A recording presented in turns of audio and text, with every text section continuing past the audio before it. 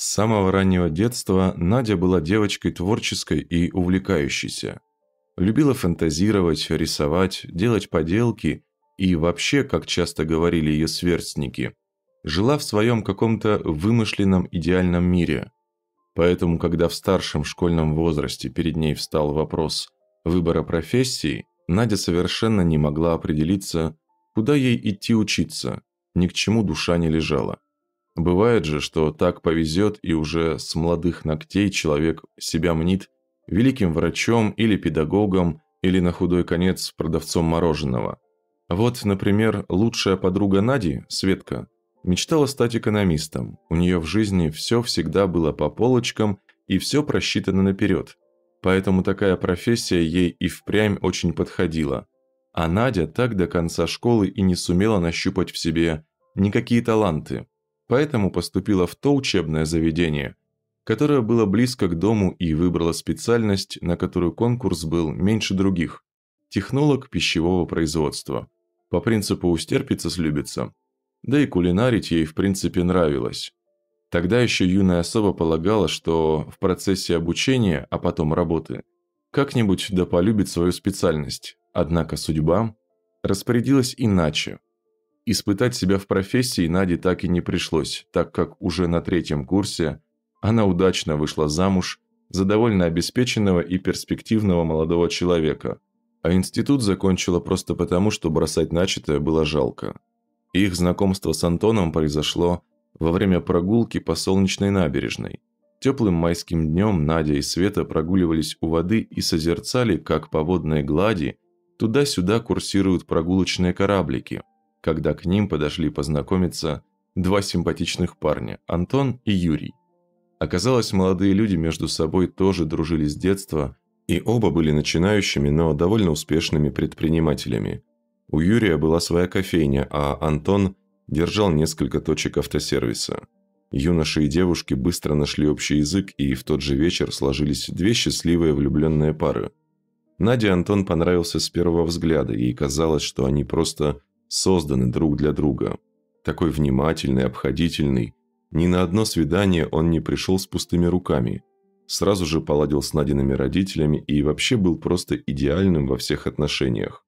Поэтому, когда через год парень предложил девушке руку и сердце, она с радостью согласилась. У Светы и Юры тоже все складывалось просто замечательно. Поэтому, посовещавшись, они решили сыграть в один день сразу две свадьбы.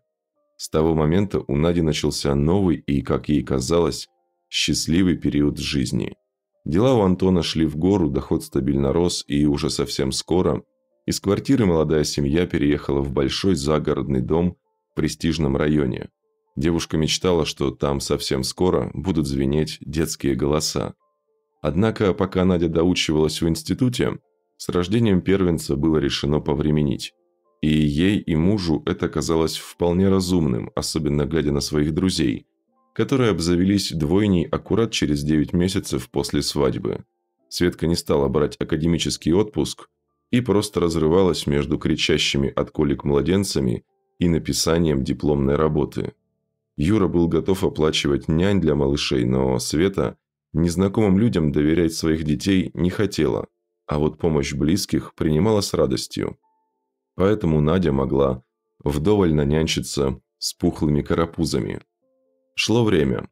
А своих детей у Нади и Антона так и не появлялось, несмотря на то, что учеба в институте была давно позади. Причин откладывать появление наследника у пары больше не было. Жили они вполне себе обеспеченно, да и свободного времени у Нади теперь было больше, чем предостаточно. На работу она так и не вышла. Муж решил, что Негоже ей топтаться в каком-нибудь общепите за копейки, если он и так прекрасно зарабатывает. Девушка спорить не стала, ведь думала, что вот-вот, наконец, станет мамой и все свое время посвятит долгожданному малышу. Но беременность почему-то так и не наступала. Когда после года попыток зачать тест на беременность так и не заполосатился, Надя решила обратиться к врачам. Она прошла довольно серьезное обследование, сдала кучу анализов, но ни местные, ни столичные скулапы никаких отклонений в организме молодой женщины не нашли. Сказали, что абсолютно здорова и посоветовали провериться супругу. Дорогие зрители, сейчас важное объявление. В связи с возможной блокировкой YouTube или значительным его замедлением, просим подписаться на наш телеграм-канал, чтобы не потерять возможность слушать полюбившиеся вами увлекательные истории из жизни. Ссылка на телеграм-канал будет в закрепленном комментарии и описании под видео. Антон сдавать анализы не стал. Сослался на вечную занятость, да и вообще посчитал это глупостью. Но не может быть, чтобы у такого мужественного красавчика были какие-то проблемы со здоровьем. Надя пыталась убедить, объясняя, что может быть все дело просто в несовместимости, и тогда они могли бы попытаться зачать ребенка с помощью ЭКО. Но муж и слышать об этом не хотел. Поэтому решил и дальше пытаться обзавестись наследником естественным путем, заверяя жену, что скоро обязательно все получится. Однако ни в ближайшее время, ни спустя 15 лет брака так ничего и не получилось. Света с Юркой со своими дочерями уже вовсю переживали трудности подросткового возраста, а у Нади только и радости было, что пообщаться с этими бойкими девчонками. Малышки Аня и Таня выросли на ее руках с пеленок, и она души в них не чаяла. Близняшки воспринимали ее скорее как свою, а не мамину подругу. Поэтому Наде легко удавалось найти с ними общий язык в этот непростой пубертатный период. Света, глядя, как Надя возится с ее несносными дочками, иногда чуть не плакала от обиды за лучшую подругу. Кажется, что быть матерью – это ее настоящее призвание – а муж уперся и ни в какую не хочет проходить обследование. Друзья много раз пытались убедить Антона пересмотреть свою позицию по этому вопросу. И даже интересовались, может быть, он вообще просто в принципе не хочет детей. Тогда лучше просто честно признаться в этом жене. Но тот лишь злился и резким тоном советовал им не вмешиваться ни в свое дело. Дескать, в семейной жизни они с Надей как-нибудь без советчиков разберутся. После очередного такого неприятного разговора Надя сама попросила Свету и Юру больше не поднимать эту тему. Женщина боялась, что муж попросту запретит ей с ними общаться, а без близняшек и любимых друзей она себе уже жизни не представляла. Юрка на это махнул рукой, бросив, пробурчав, что его друг – настоящий дурак, а Светка заверила подругу, что выполнит ее просьбу. Она видела, что даже много лет спустя та продолжает смотреть на мужа глазами влюбленной кошки. Как говорится, любовь зла. Это и впрямь не их дело, пусть сами разбираются. Общение с друзьями было тем немногим, чем Надя могла скрасить свое одиночество. Ведь на работу она так и не вышла. Типичный ее день включал в себя уборку, готовку и работу в саду. Антон много раз предлагал нанять домработницу, ведь он не бедняк какой-нибудь и может позволить себе, чтобы жена не пыхтела со шваброй и сковородками. Но Надя категорически отказывалась. Во-первых, она не представляла себе, что в ее доме будет хозяйничать какая-то чужая незнакомая женщина. А во-вторых, чем ей тогда самой заниматься? Надя любила свой дом и сад, каждый уголочек в них был продуман и обустроен ее руками. Антон купил ей автомобиль, поэтому она могла самостоятельно ездить по магазинам и выискивать необходимые аксессуары или предметы интерьера. Да и за продуктами женщина тоже любила ездить. Особенно после того, как в ее жизни появилось новое увлечение – выпечка различных тортов. Надя была человеком по складу характера совершенно домашним, не любила шумные тусовки и большие компании, поэтому неудивительно, что и хобби она себе выбрала под стать. Наткнулась как-то на видео с мастер-классом по изготовлению торта ко дню рождения и решила также попробовать приготовить. Лакомство получилось даже красивее, чем оригинал, и невероятно вкусным. Наверное, все-таки сказалось наличие профильного образования и любовь к творчеству. Вдохновившись первым удачным опытом, Надя попробовала снова и снова. Она освоила уйму различных рецептов и украшала свои торты так, что они выглядели настоящим произведением искусства. Вдвоем с Антоном Такое количество сладостей было ни за что не съесть, поэтому тортики обычно уходили в подарок родственникам и знакомым. Иногда у Нади случались даже небольшие заказы. Но это было довольно редко, и брать деньги за свои кондитерские изделия женщина стеснялась. Да и, откровенно говоря, нужды в этом никакой не было. Денег на жизнь Нади, не стремящейся к роскоши, хватало. И было даже больше, чем достаточно. Антон ей никогда ни в чем не отказывал. Все-таки, несмотря ни на что, женщина считала, что с мужем ей очень повезло. Близилась очередная годовщина их свадьбы. Надя любила эту дату и с особым трепетом к ней относилась. На протяжении всех лет они всегда отмечали этот день вместе с друзьями, ведь это был и их праздник тоже. 15 лет, конечно, еще не очень много, но не так уж и мало. Как говорится, уже есть что вспомнить. И еще хочется строить множество планов на будущее. Подруги, посовещавшись, решили праздновать юбилей у Нади дома. Так было удобнее всем. В кофейне сейчас был горячий сезон, поэтому Светка и Юрка целый день пропадали на работе, и заниматься приготовлением торжества им было просто некогда. Антон предлагал пойти в ресторан, но Надя вызвалась сама все приготовить. Для нее организовать небольшое застолье было только в радость. Тем более, что в блокноте давно томились несколько рецептов, которые ей очень хотелось попробовать воспроизвести. Женщина считала, что 15 лет брака – это стеклянная свадьба и уже вовсю мечтала, как приготовить по этому случаю торт с украшениями в виде сердечек-стеклышек из прозрачной карамели. А в основу десерта она решила пустить коржи с орехами и курагой, которые просто обожают Аня и Таня. Они ведь, разумеется, тоже должны присутствовать на этом маленьком семейном торжестве. Но торт – это уже в завершение праздника. А перед ним надо же еще что-то и нормального поесть, думала Надя, внося в блокнот список продуктов, которые необходимо купить. Эскалопы и индейки, салат с рукколой и греческим сыром и белое вино должны хорошо сочетаться и придутся по вкусу всем участникам праздника. Подросткам, естественно, нужно купить отдельные напитки, помечала Надя. Несмотря на то, что девчонки были близняшками, их пищевые предпочтения во многом разнились. Например, Таня любила колу, а Аня всегда выбирала апельсиновый лимонад.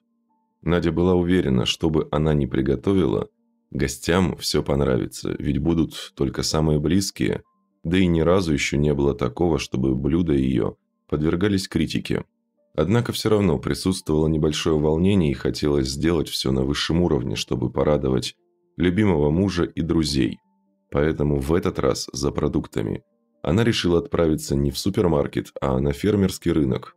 Там для торта можно было найти первоклассные сливки и свежайшую индейку, которая еще вчера бегала по зеленым лугам. К счастью, необходимые продукты быстро нашлись. Довольная, с двумя пакетами в руках, Надя спешила к машине, чтобы поставить их в багажник. По пути она заметила лавку с очень аппетитными фруктами и решила, что не лишним будет прикупить и их. Погрузившись в мысли о том, как красиво она разложит яблоки, абрикосы, клубнику и виноград на праздничном столе, Надя не заметила впереди человека, идущего с большими коробками в руках, и на всем ходу врезалась прямо в него. Удар был не сильный, скорее неожиданный, но Надя не удержалась на ногах и шлепнулась прямо на дорогу. При падении она услышала характерный звон и с ужасом поняла, что плакали ее только что купленные сливки. Мужчина, который стал причиной ее падения, на ногах устоял, но стопка коробок, которые он нес, попадала, а вместе с ними разлетелись и сложенные туда овощи.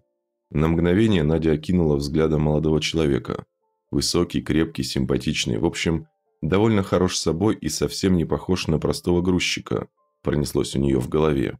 Но эти мысли мимолетно сменились злостью из-за испорченных покупок, и тут же началась словесная перепалка, в ходе которой каждый из молодых людей винил другого в этом досадном происшествии.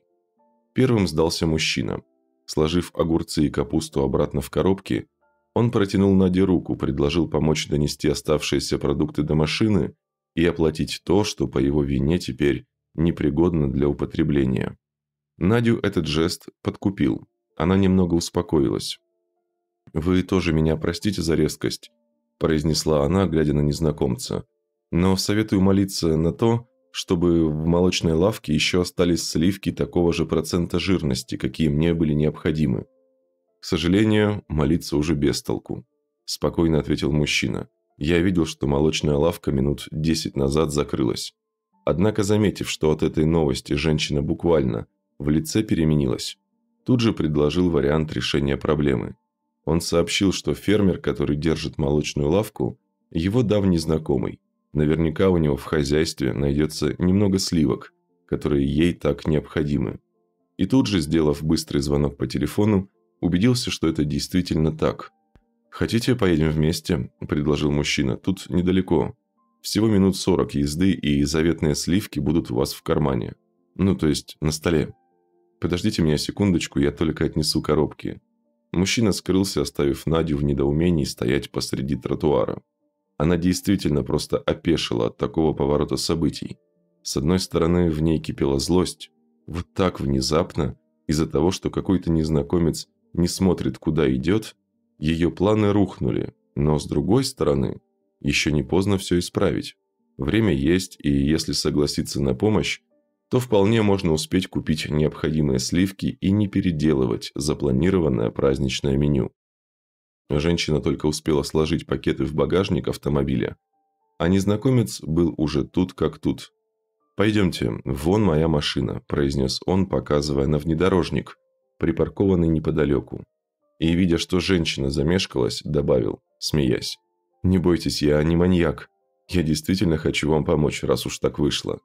Можно было бы ехать на двух машинах, но боюсь, что ваша там просто застрянет. Мне кажется, что на сегодня с вас происшествий и так достаточно». Надя еще раз внимательно взглянула на своего собеседника. Да, на маньяка он явно не был похож. Ухоженный, симпатичный, машина совсем не дешевая. Вряд ли ему требуются такие хитрые планы, чтобы завести куда-нибудь девушку. Скорее всего, за таким мачо красотки сами бегают табунами. Подумала она и все-таки решилась на поездку. Минут через десять, когда автомобиль вырулил из города на автомагистраль, мужчина сделал музыку тише и произнес. «Раз уж у нас с вами выдалось такое приключение, давайте знакомиться. Меня зовут Андрей». «Надежда», – представилась женщина, и в голове промелькнуло, что и правда все это можно назвать настоящим приключением. Непонятно, как она вообще решилась на такую авантюру. Ехать к черту на куличке с человеком, которого знала едва ли полчаса. Да еще и зачем? за сливками, которых на полках любого супермаркета пруд пруди. Вы знаете, мне даже неудобно, что я доставила вам лишние хлопоты. Я сама виновата, смотреть надо было вперед, а не по сторонам. Просто в голове у меня было столько планов, задумалась, вот и врезалась в вас. А сливки и правда очень нужны», – произнесла Надя, словно ища оправдание своего безумного поступка. «А для чего они вам, если не секрет?» Я вот даже и не знаю, куда их можно применить, разве только добавить в кофе. О, их можно добавлять в совершенно различные блюда. Мне они как раз и нужны для праздничного стола. Завтра намечается семейное торжество. Хотела порадовать близких вкусненьким. Не люблю еду из ресторанов. Мне кажется, продукты, приготовленные собственноручно, это своего рода выражение заботы. Домашние котлетки с пюрешками – это не просто пища, это любовь поданное на тарелке. Ваш супруг – настоящий счастливчик, скажу я вам. Большинство женщин сейчас не любят варить и жарить. Им бы все готовое подавай.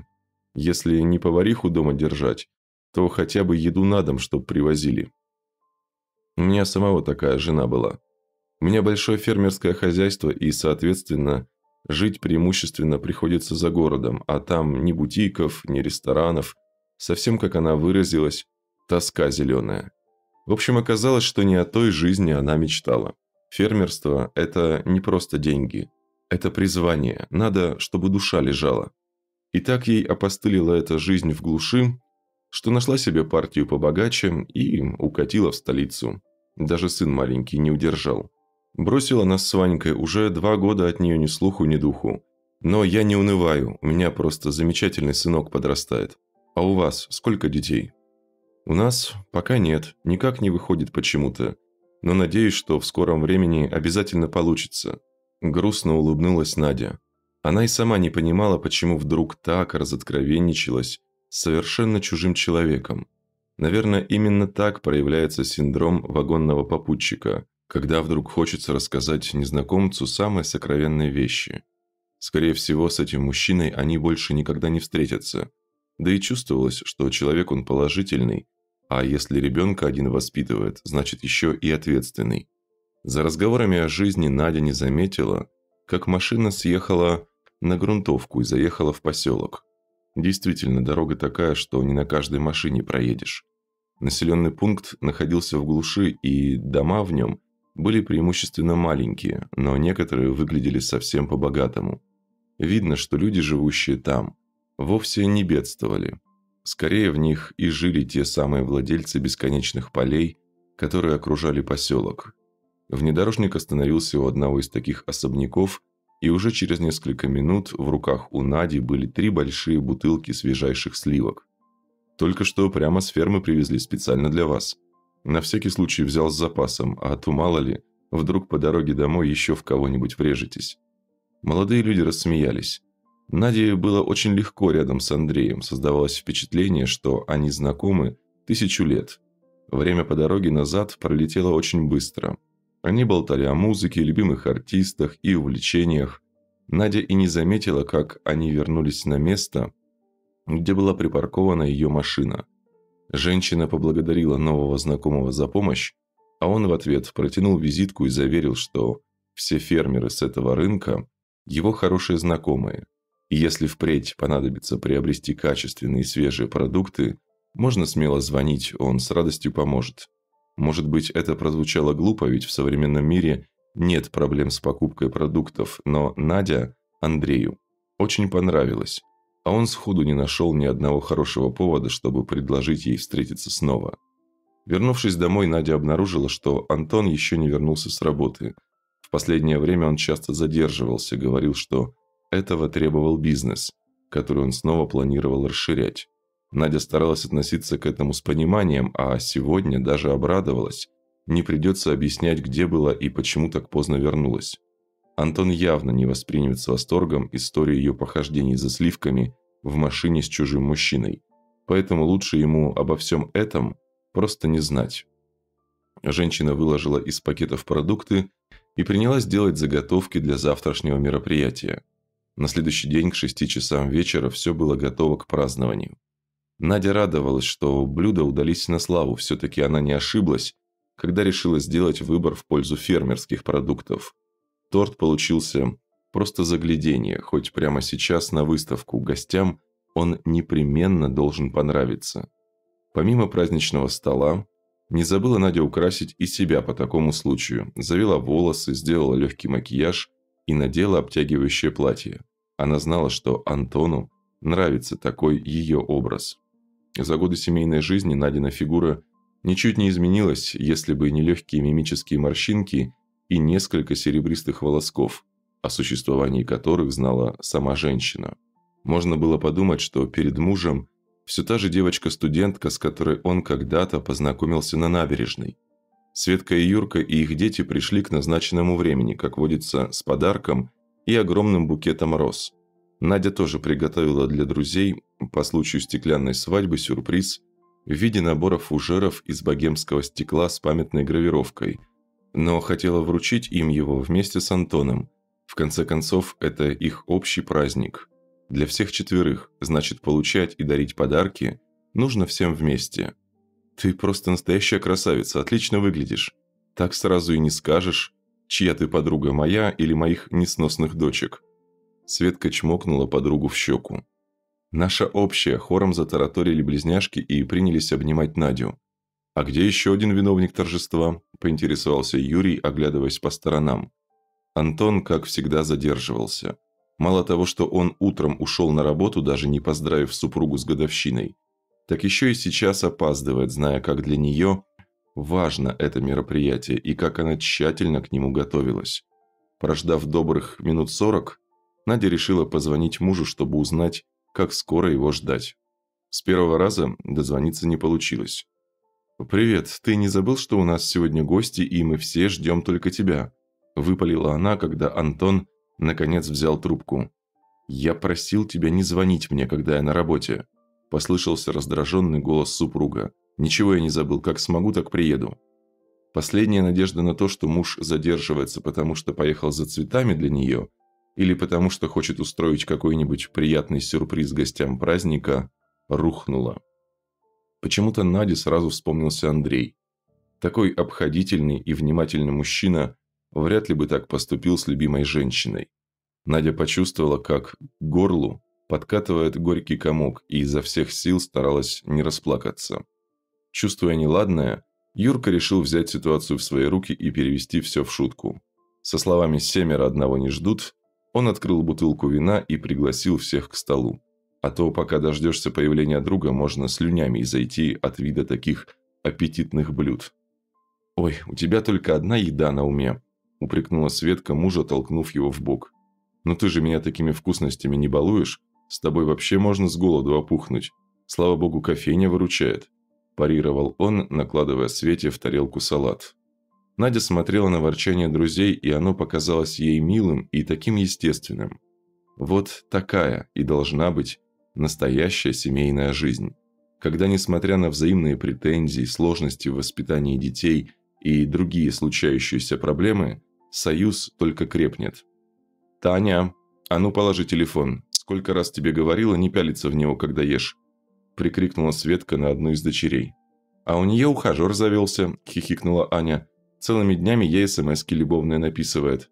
«Дура», – буркнула Таня на сестру. «Какой еще ухажер?» Юрка от удивления так высоко поднял брови, что казалось, они вот-вот выскочат выше лба. «Давайте дома это обсудим», – скомандовала Светка. «Наливайте бокалы, давайте праздновать».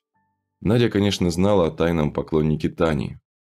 Она была первой, с кем девочка поделилась своими любовными переживаниями, но, конечно, обещала хранить все в секрете. Правда, предварительно узнав об ухажере всю доступную информацию и убедившись, что никакая опасность влюбленному ребенку не угрожает. Аня наверняка завидует сестре, так как мальчишка выбрал не ее, при том, что выглядят они совершенно одинаково. Надя отметила для себя, что надо непременно провести на эту тему беседу с девочками. Она хотя и считала, что родители вправе знать о том, с кем общаются их дети, вот так подставлять близняшку было со стороны Ани некрасиво. Да, легко рассуждать, когда речь идет о чужих детях. Надя слегка приуныла. Подумать только, ведь сегодня 15 лет, как они с Антоном поженились. У них запросто могли быть дети такого же возраста. Но тут же постаралась отогнать эти мысли прочь. В конце концов, они с мужем еще не старые, и, возможно, у них все получится. Надо будет выбрать момент, когда Антон будет в хорошем расположении духа, и снова намекнуть ему про сдачу анализов, подумала Надя. Из дум в реальность ее вернули восторженные возгласы гостей. Они уже успели добраться до торта и так его нахваливали, что Надя даже засмущалась. Женщина тоже отрезала себе кусочек и, попробовав, поняла, что дифирамбы вполне заслужены. Получилось действительно очень вкусно. Наверное, все дело в хороших сливках, отметила для себя Надя и в мыслях невольно снова всплыл образ Андрея и его очаровательная улыбка с милыми морщинками возле глаз. Это просто божественно. Не просто красиво, но и очень вкусно. Юрка закатил глаза от восторга, смакуя во рту сладкий кусочек. Нашим кондитерам в кофейне до тебя как до луны пешком. Не хочешь пойти к нам работать? Поставлю тебя в кондитерской старшей, обучишь команду, и пусть весь город наслаждается этими шедеврами. Такой талант прятать дома – это просто преступление против общественности. Да ну брось ты. Какая из меня старшая? Я никогда не работала, а чему в институте училась, уже лет сто позабыла. «Да и Антон не хочет, чтобы я выходила на работу», – улыбнулась Надя. «А за похвалу спасибо. Я рада, что вам понравилось. Честно признаться, я и сама осталась довольна результатом. В глубине души Наде очень хотелось работать.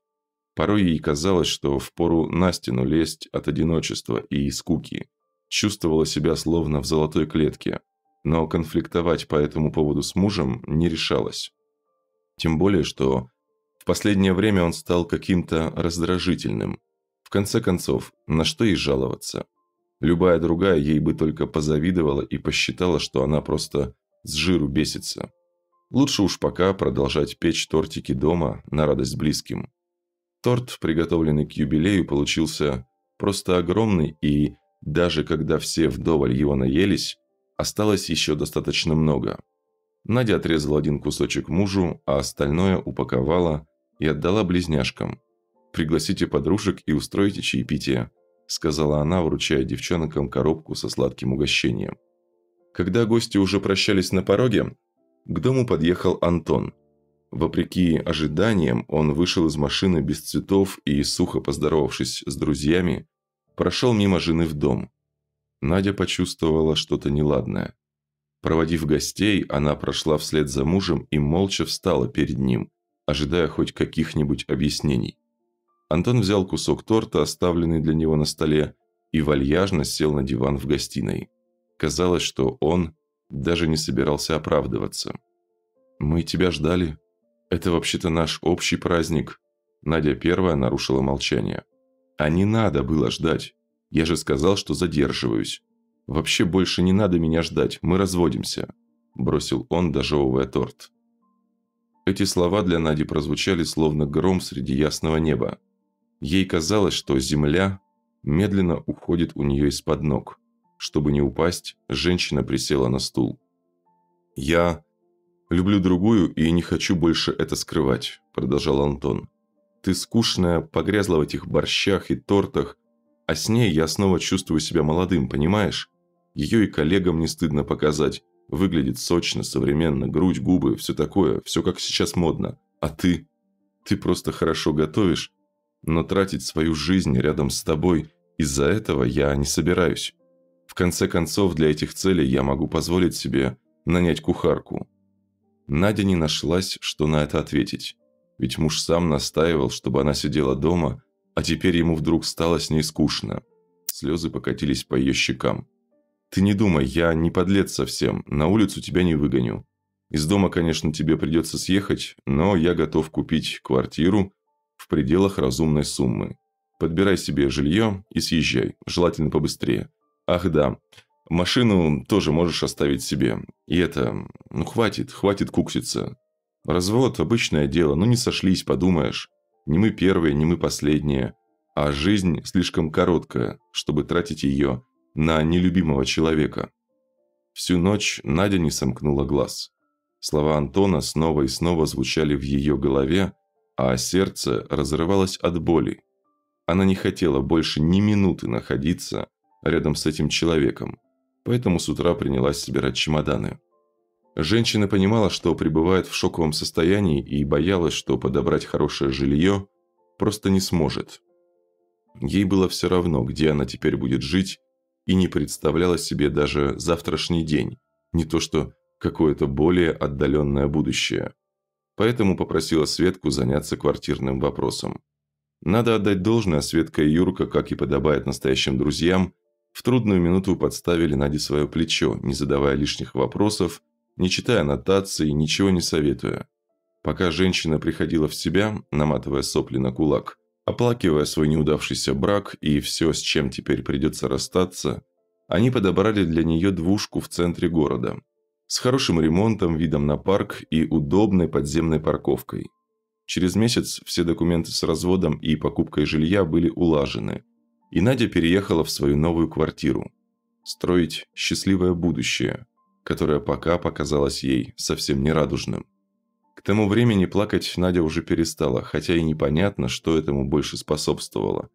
То ли слез больше совсем не осталось, то ли немного отлегло.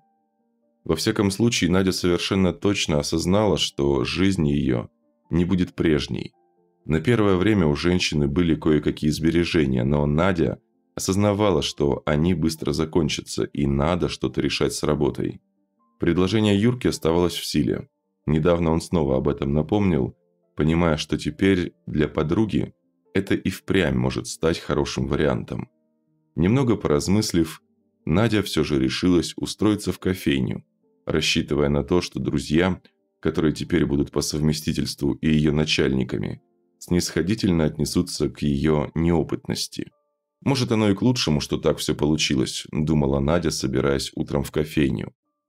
Ей предстоял первый рабочий день, и она немного волновалась. Накануне женщину представили коллективу, которым ей придется управлять. Девушки выглядели доброжелательными, и ей казалось, что они обязательно сработаются, но все равно было немного боязно. Зато есть веский повод доказать себе, на что способна. Подбадривала она себя. Волновалась Надя напрасно.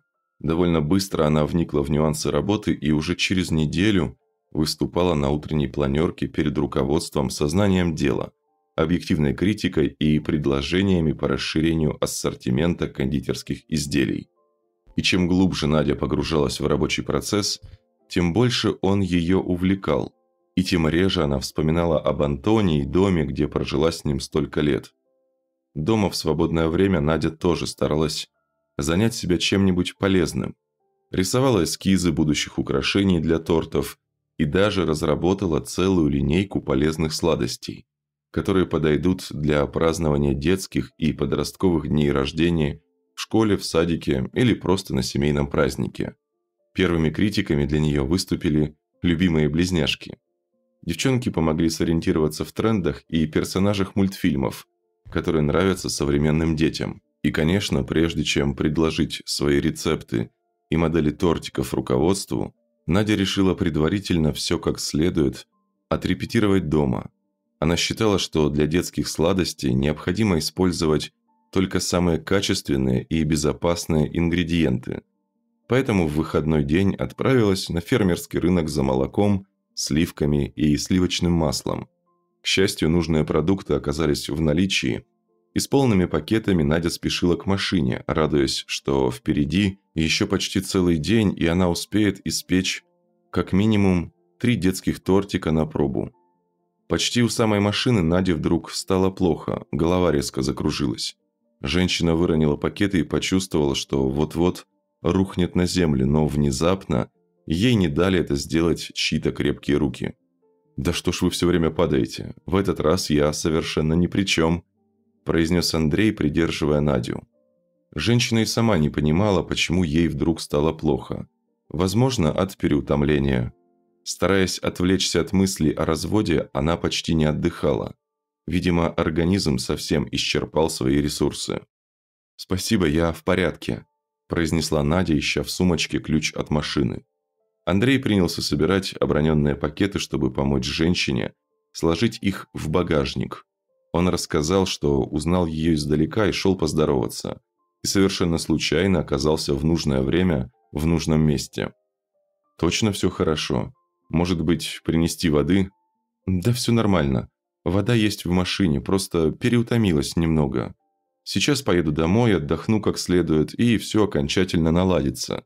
Заверила она Андрея. Ну, как знаете, опять семейное торжество? Мужчина кивнул головой в сторону сумок с продуктами. Нет никакого торжества. Да и семьи уже тоже. Грустно произнесла Надя и, услышав эти слова, произнесенные вслух, почувствовала, как горький комок подкатывает к горлу.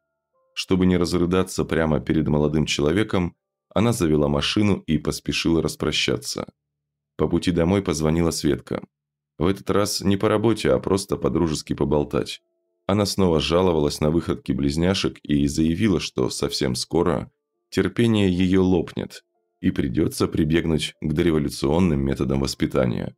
Ну, и между прочим поинтересовалась, как дела у Нади, как она проводит свой выходной день и чем сейчас занимается. Надя не хотела раньше времени говорить о своем проекте, связанном с детскими кондитерскими изделиями. Просто рассказала, что ездила на рынок за продуктами и как чуть посреди стоянки не грохнулась в обморок.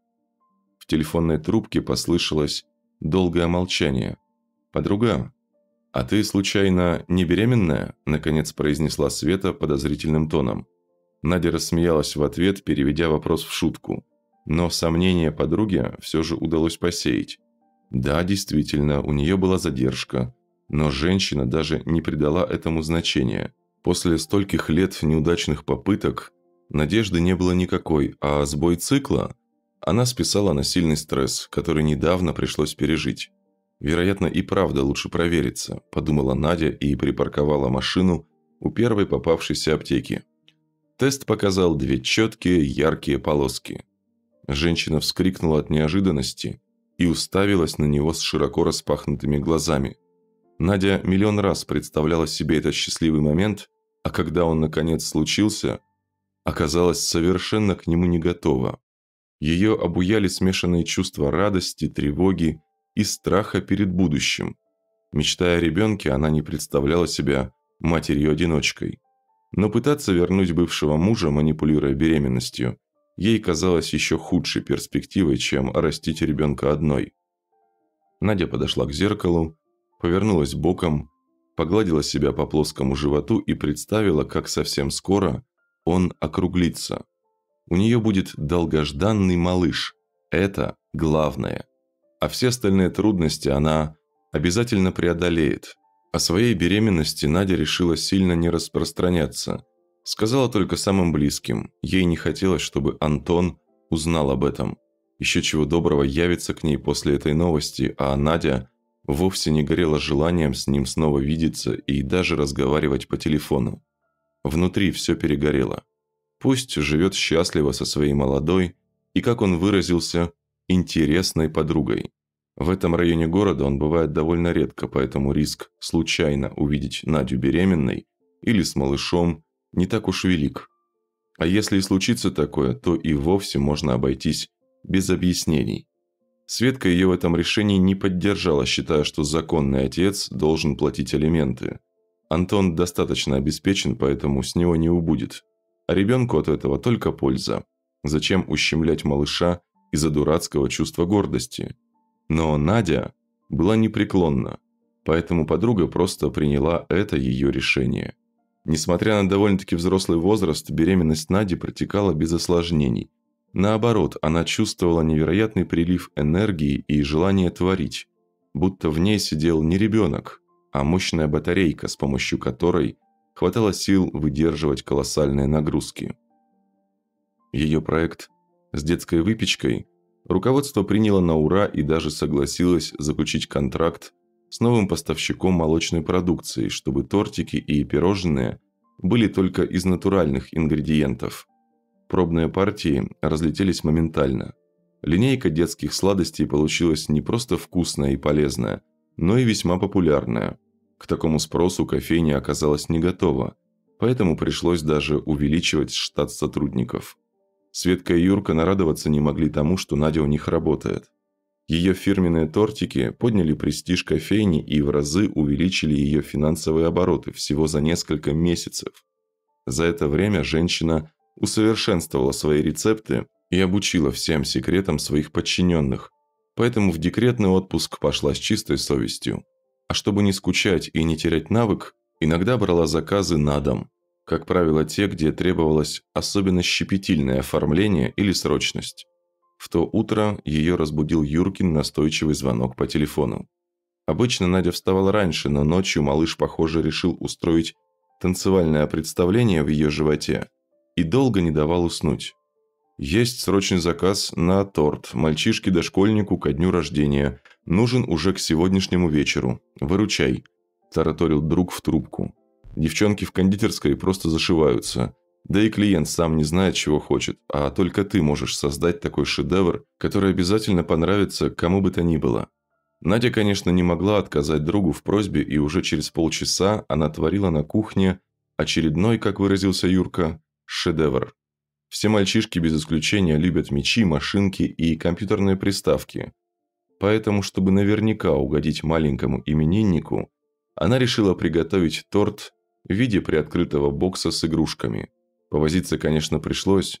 Пару раз курьер из кофейни довозил ей необходимые ингредиенты, потому что идеи рождались в самом процессе творчества. В итоге Наде и самой очень понравилось то, что у нее получилось. Если будет сын, то на один из дней рождения нужно будет непременно сделать ему такой же, думала она, завязывая ленты на упаковке. Женщина не любила, когда люди опаздывают, и сама всегда все исполняла в срок. По ее убеждению, особенно не стоит заставлять ждать людей, у которых такой светлый семейный праздник, как день рождения ребенка. Обычно клиенты просят доставку, но этот заказчик пожелал самостоятельно забрать торт.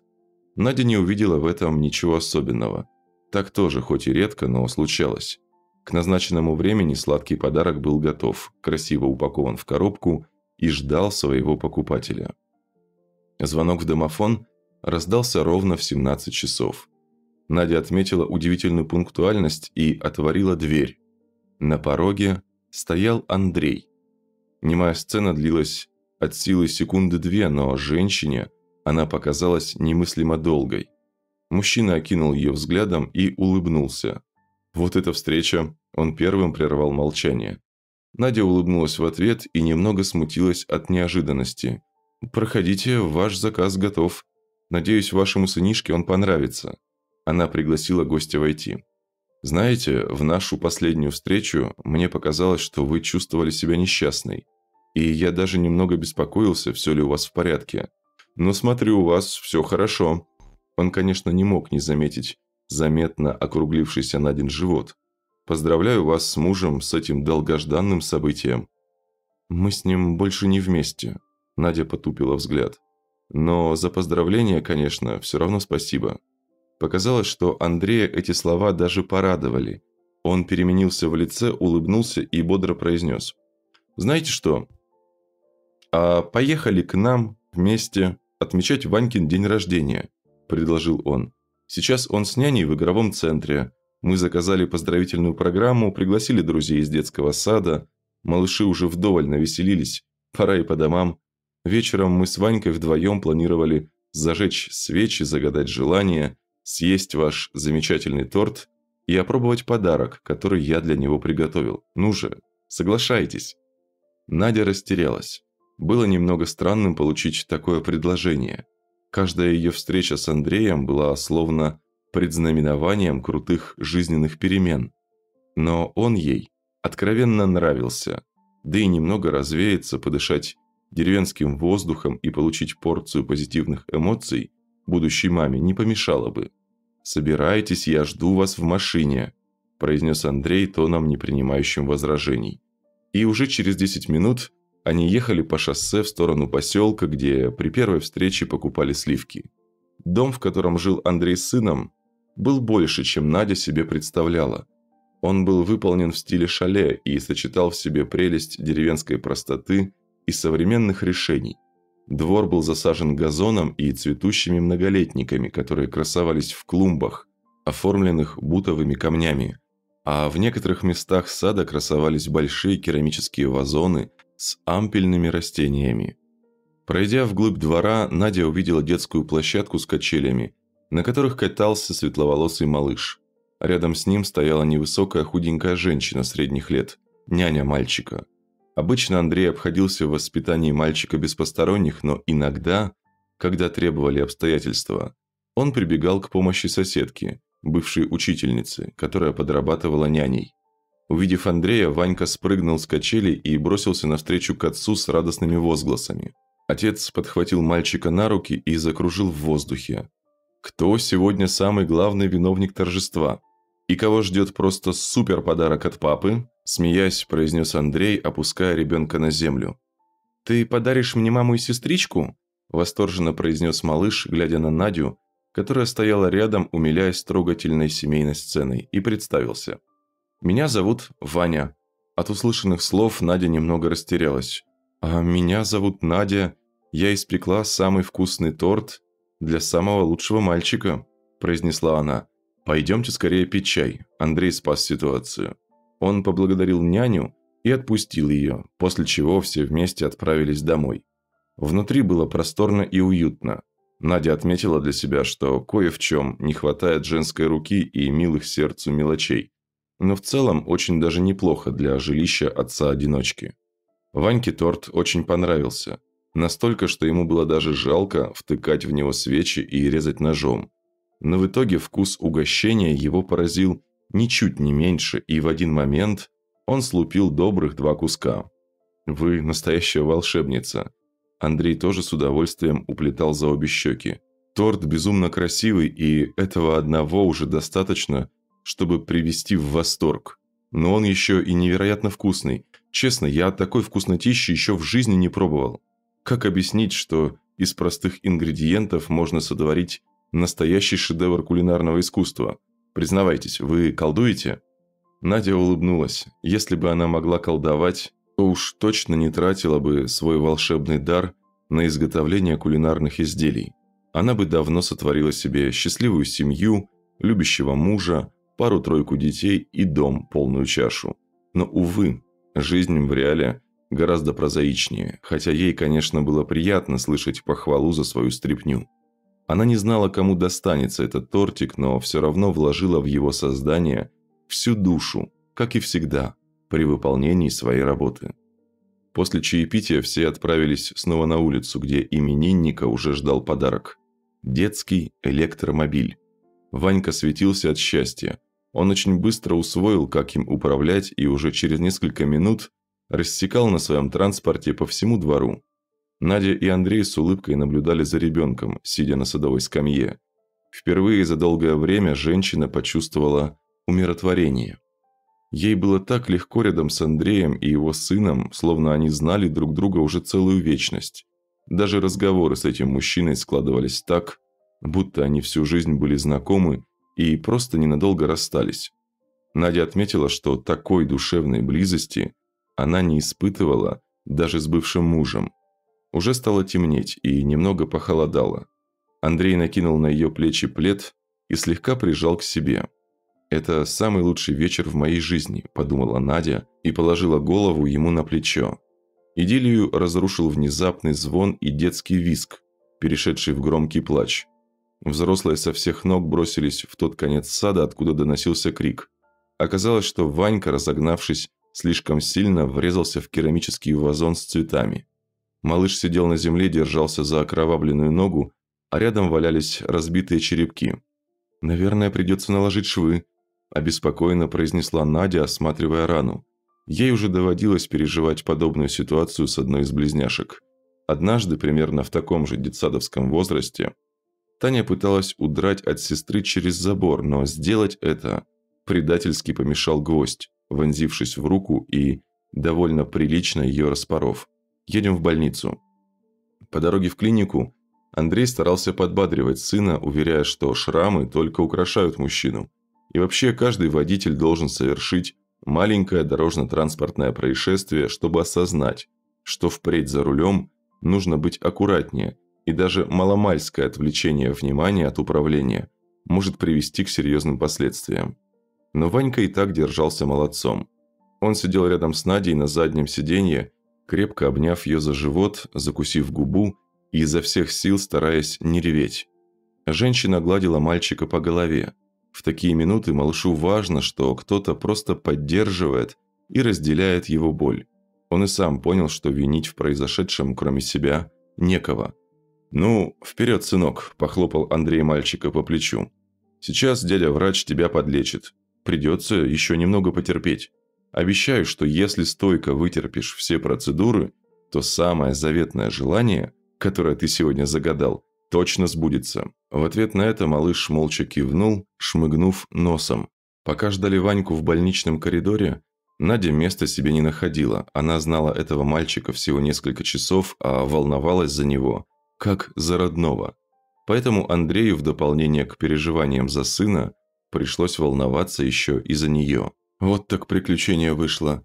Пригласил, называется, беременную женщину получить позитивные эмоции. Ждать пришлось всего минут 15, но Наде они показались просто вечностью. Только когда дверь кабинета открылась и медсестра пригласила забрать ребенка, женщина облегченно вздохнула. Слава богу, все прошло хорошо. «Папа, я все вытерпел, правда-правда, даже не пикнул, вот спроси у доктора. Теперь мое желание сбудется?» – произнес малыш, сидя у отца на руках. «Обязательно сбудется», – заверил отец. «Ура!» – мальчик обнял его за шею. Все трое выходили из больницы с чувством облегчения, что самое страшное уже позади. «Я, наверное, вызову такси», – предложила Надя. «Езжайте домой, уже поздно. Ребенок и так намучился». «Ничего я не намучился и спать не хочу», – возразил мальчишка. «Вот видите, с ним все в порядке. Мы сами доставим вас до дома», – сказал Андрей. Но едва машина проехала метров сто, Ванька уже спал крепким сном. «Еще раз с днем рождения тебя, маленький ангел!» Тихо прошептала Надя и чмокнула его светлую макушку. Ночной двор многоэтажки был уже безлюден. Андрей припарковался у подъезда и помог Наде выйти из машины. «Спасибо вам за этот вечер», – произнесла она. «Вы удивительная, правда. Это вам огромное спасибо. Я не знаю, что бы я без вас делал. И простите, что заставил вас волноваться. В вашем положении это недопустимо. Андрей взял ее руку и прикоснулся к ней губами. «И давай уже, наконец, перейдем на «ты», – засмеялась Надя. После всего, что они вместе уже успели пережить, выкать и впрямь было как-то глупо. Вернувшись в свою пустую квартиру, Надя почувствовала странное ощущение, что уже начала скучать по этой милой парочке отца и сына. Утром, когда она варила себе кофе, в домофон позвонили. Курьер принес большую корзину с белыми розами от Андрея. Надя и забыла уже, как это – принимать ухаживание от мужчин. С самой юности она была предана мужу, а тот не был склонен к романтике и цветы дарил лишь по особо важным случаям. Наверное, стоило пройти через те ужасные эмоции, которые она испытывала во время развода, чтобы вновь почувствовать себя живой, прекрасной, интересной женщиной, которая может нравиться мужчине. Надя решила не отталкивать от себя Андрея. Он ей не только нравился, но и дарил невероятное ощущение близкого и родного по духу человека. Мужчину не испугало то, что она ждет ребенка от другого. Значит, настроен серьезно. Значит, ему нужна не просто какая-нибудь женщина для утех и работы по дому, а именно она, со всеми своими достоинствами и недостатками. Ей импонировала его забота о маленьком сынишке. Не каждый мужчина решится тянуть такую ответственность в одиночку. Не отказался, не струсил.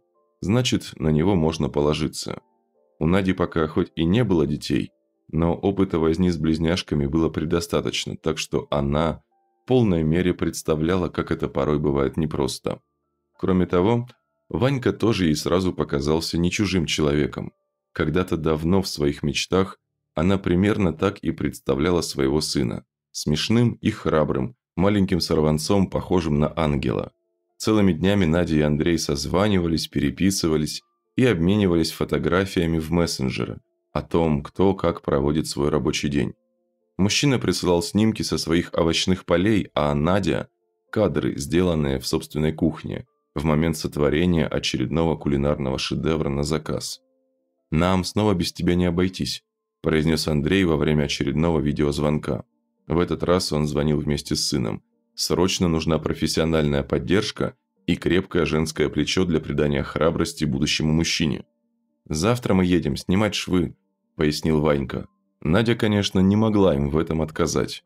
На следующий день они тем же составом сидели в больничном коридоре. «А мне будет больно?» – спросил малыш, заглядывая женщине в глаза. «Нет, в этот раз больно совсем не будет», – успокоила его Надя. «То есть не нужно терпеть и загадывать желание тоже уже нельзя? Мое прежнее желание так и не сбылось». Желания можно и нужно загадывать всегда, но учти, что они не всегда сбываются сразу. Иногда нужно время, чтобы мечты воплотились в реальность. Ступай и ничего не бойся. Надя чмокнула малыша в пухлую щечку и проводила к доктору.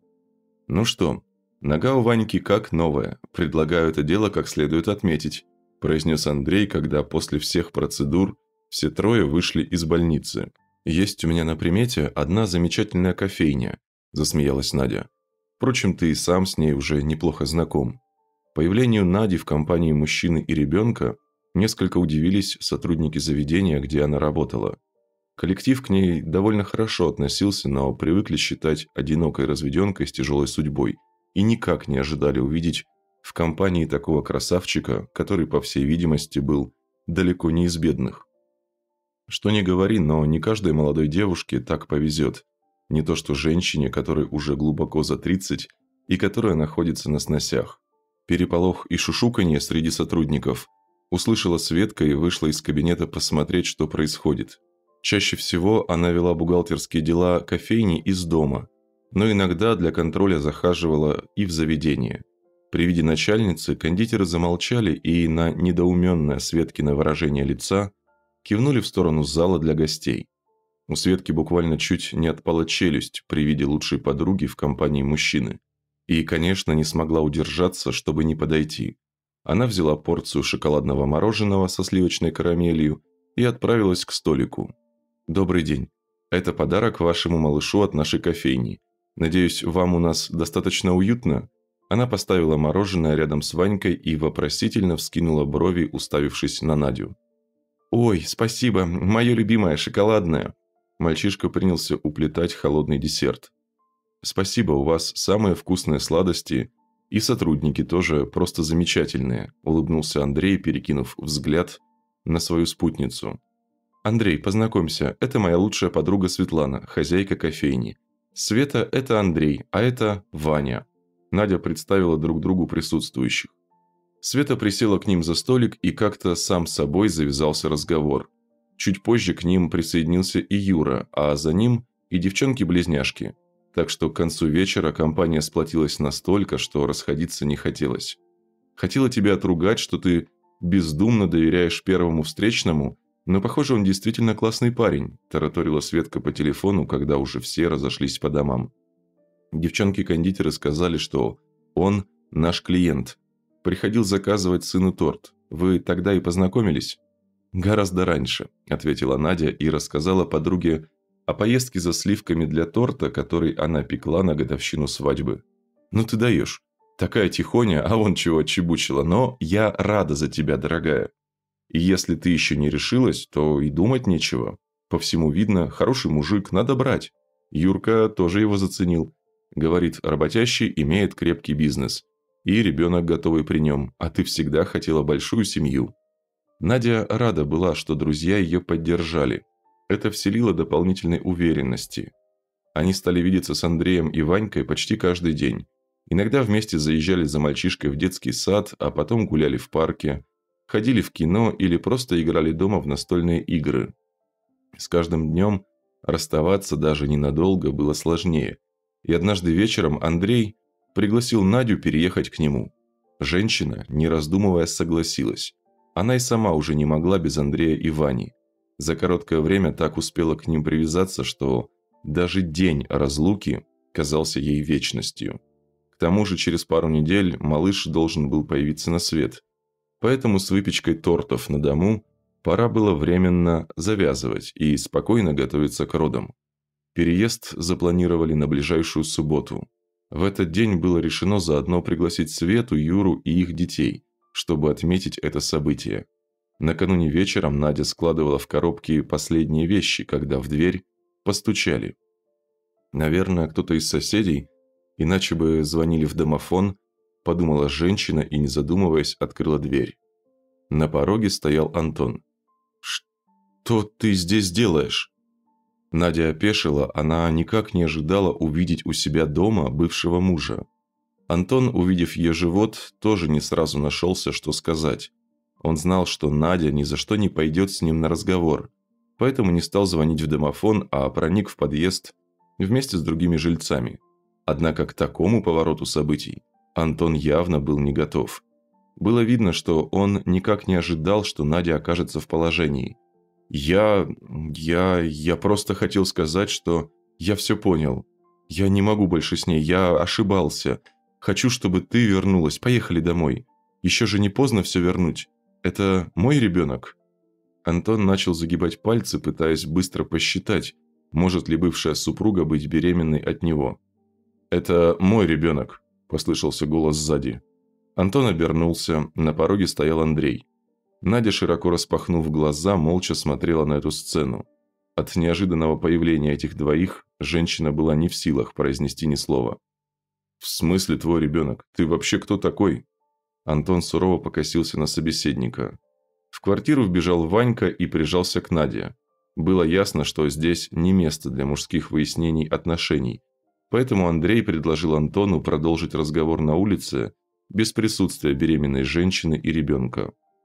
Мужчины вышли, а Надя просто места себе не находила и нервно вышагивала по комнате, держась за живот. Нет, насколько хорошо она знала своего бывшего и нынешнего мужчин, до мордобития должно не дойти. Оба они довольно хорошо воспитаны и не склонны к такому импульсивному поведению. Но с другой стороны, и ситуация не совсем рядовая. Не каждый день им приходилось делить женщину и еще не родившегося ребенка – Поэтому пойди знай, до чего они могут договориться. «Ванька, вы как тут оказались?» – спросила она, садясь рядом с мальчишкой, который уже успел найти в холодильнике пирожное и уплетал его, сидя за кухонным столом. «Ты же нам вчера сама ключи дала», – напомнил он. «Мы с папой подумали, а чего ждать завтрашнего дня? Заберем тебя домой сегодня, а завтра вещи перевезем». Надя и впрямь совсем забыла, что дала Андрею запасной комплект ключей, чтобы было удобнее перевозить вещи. Она была рада, что он так неожиданно, но так вовремя оказался сегодня здесь, у нее дома. Нет, Надя не собиралась возвращаться к бывшему мужу, но все же его появление внесло в ее душу толику сомнения и одновременно колыхнуло неприятные воспоминания о прошлой жизни. «Не волнуйся, он все понял и больше не будет тебя беспокоить», сказал Андрей, когда зашел в квартиру, и Надя, увидев, что на нем нет следов драки, с облегчением выдохнула. Мужчина увидел, что его любимая находится в каком-то ступоре. Забеспокоился, все ли с ней в порядке, не сильно ли они ее напугали своими разборками и не навредили ли эти волнения малышу. Надя заверила, что с ней и будущим ребенком все в порядке. Спокойно поговорили, он все понял. Немного придя в себя, Андрей рассказал о том, что происходило на улице. Сказал ему, что ты моя и будущий малыш тоже мой и назад к нему ты уже не вернешься. Надь, я тебя вообще больше никому и никогда не отдам. А чтобы ты даже не сомневалась в серьезности моих намерений, выходи за меня замуж». Андрей достал из внутреннего кармана пиджака кольцо и протянул его Наде. «Ну вот, взял и весь сюрприз испортил», – вздохнул мальчишка. «На самом деле мы с Ванькой готовились. Мы сегодня вместе выбрали кольцо, а завтра в присутствии гостей Хотели тебя попросить стать мне женой, а ему мамой. Но вот прости, эмоции захлестнули и страх тебя потерять, наверное, тоже. Я согласна. Надя обняла Андрея за шею и крепко поцеловала в губы, не дав договорить. «Мое желание исполнилось! Надя будет моей мамой!» – закричал Ванька. Он подбежал ко взрослым и что из силы распахнул руки, пытаясь обнять сразу двоих. Андрей подхватил сына на руки, и они еще долго стояли так, обнявшись и плача от счастья. Следующий день стал еще более знаменательным в жизни Нади. Вся компания собралась в беседке и приготовилась есть только что приготовленное мясо на углях, когда Андрей и Надя объявили собравшимся о своей помолвке. Света и Юра были искренне рады за свою подругу. Они считали, что она действительно заслужила достойного мужчину и настоящего женского счастья. Близняшки тоже были в восторге от этой новости и сразу же на перебой стали давать советы по выбору свадебного платья. Они были в курсе всех трендов и считали, что точно знают, в каком именно наряде их любимая Надя будет самой красивой невестой в мире. Мои дорогие, как же я рада за вас. Я поздравляю вас всех троих с этим решением. Подняв бокал с шампанским, произнесла Света, обращаясь к Наде, Андрею и Ваньке. Момент был настолько трогательный, что ее глаза наполнились слезами счастья. «Я желаю вам стать самой лучшей в мире семьей. Пусть пока еще не свадьба, но не грех заранее порепетировать. Горько!» – весело добавил Юра под звон фужеров. Будущий жених и невеста улыбнулись и слились в поцелуе, а гости принялись вести отсчет. Внезапно Надя почувствовала внутри себя резкий щелчок и то, как что-то теплое хлынуло по ее ногам. Будущий малыш больше не хотел оставаться безучастным, когда вокруг такое происходит, и тоже смело засобирался на выход. Что тут началось? На удивление больше всех паниковали мужчины – они бегали по двору, не зная, куда звонить и за что хвататься, пока Света все не взяла в свои руки. На всякий случай она вызвала для подруги скорую помощь, а все остальные последовали до роддома на своих машинах и ждали в коридоре, когда же малыш появится на свет. «Кто счастливый папаша?» Наконец из дверей показалась санитарка. «Я!» Андрей вскочил со стула и бросился ей навстречу. «Поздравляю! У вас красавица-дочка. Настоящая богатырша, вся в вас. 3 килограмма 800 граммов. С мамочкой тоже все хорошо. Она сейчас отдыхает. Чуть позже можно будет к ним пройти. «Ура! У меня родилась сестричка!» Ванька забрался к отцу на руки, крепко его обнял и прошептал. «Мое второе желание тоже исполнилось. Пап, самые заветные желания и правда исполняются, если сильно в это верить и немножко подождать.